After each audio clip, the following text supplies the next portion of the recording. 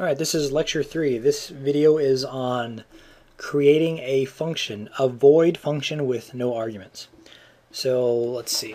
So the first thing you want to do is we always include our libraries. We'll clean up the, first you clean up the program and then we're going to include our libraries. So I'm going to do pound include iostream.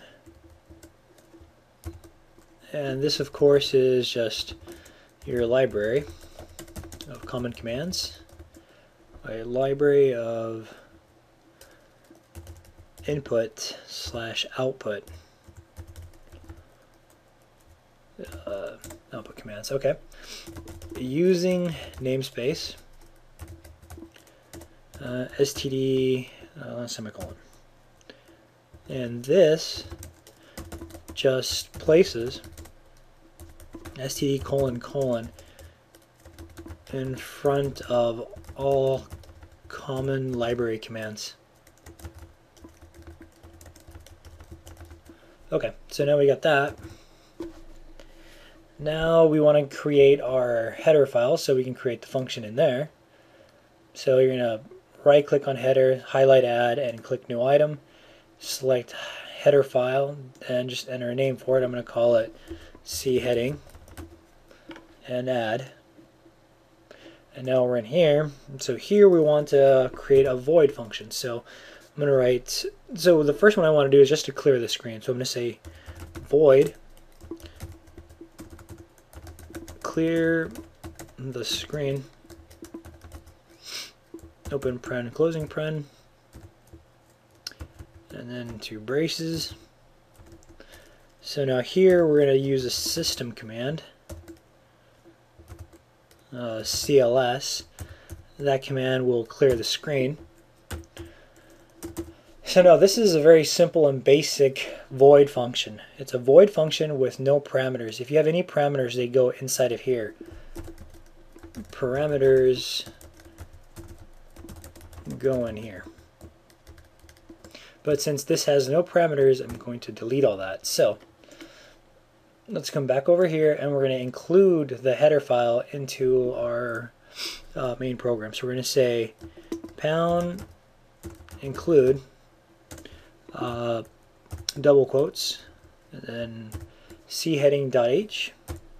Okay, so now we've included uh, this header file, c heading, into our uh, main function, or main uh, program. So now here uh, here's the first one, which is just clear the screen. So now let's show you how that works. So first thing I'm going to do is, well, yeah, first thing I want to do is just to make sure that when I run this program that I don't have the press any key right next to whatever I'm typing out. So I'm going to do this right here. And this will just force that press any key to, oh gosh, I missed it. There we go. Come on.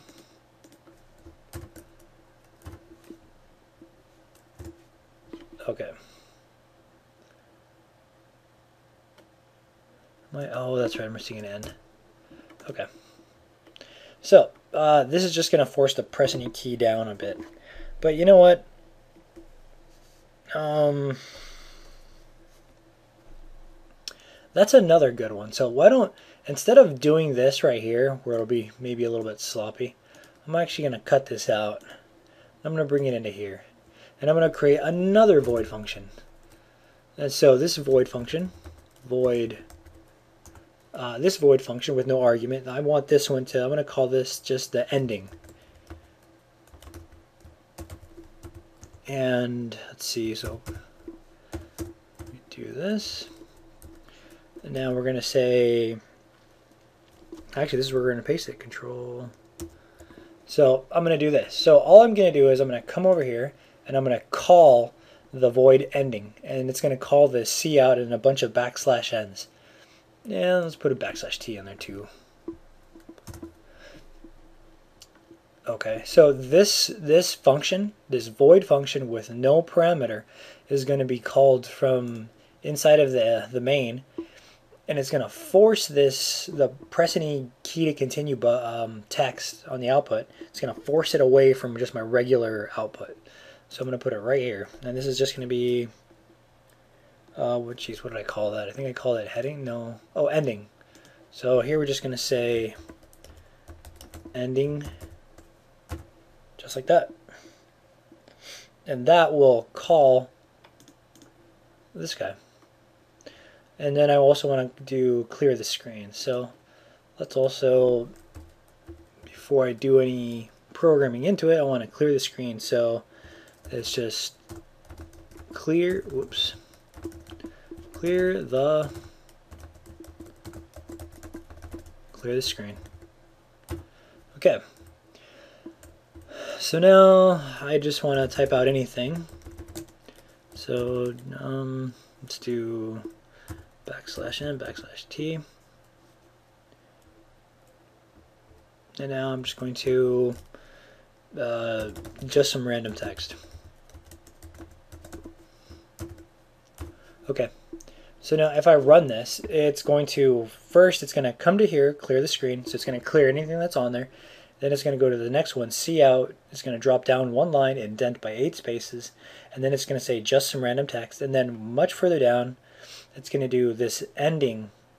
It'll well, it's gonna first it's gonna call ending, which is going to uh, see one, two, three, four, five, six, seven, eight, nine, ten. It's gonna move down the press any key to continue down 10 spaces and indent it by 8. So let's go ahead and run this.